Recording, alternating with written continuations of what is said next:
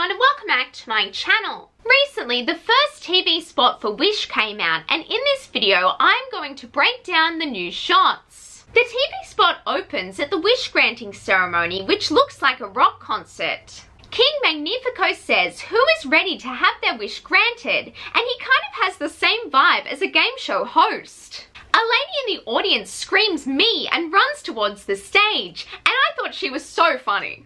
I presume that she is the person who wishes to be a seamstress. This next new shot features Asha's group of friends, her mother Sakina and her grandfather Sabino watching the ceremony. After this, King Magnifico says that went well, don't you think? With fireworks going off in the background.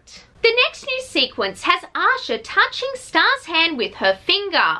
Star then flips backwards in happiness.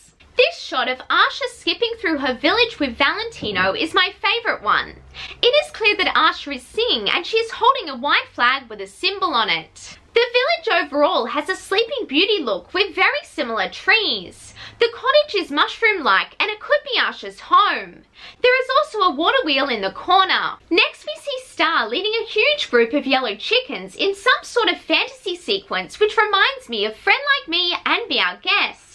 I think this shot is during the song I'm a Star, where Star gives the animals the ability to speak. The final new shot is a close-up of Asha wishing upon a star, and she looks gorgeous. Just before I go, I want to let you guys know that director Fawn Veerasunthorn said that the second trailer will drop very soon, so it could be any day now. Anyway, that is all for today. Like this video if you liked it and please subscribe. It would mean so much to me. Bye now and have a magical day.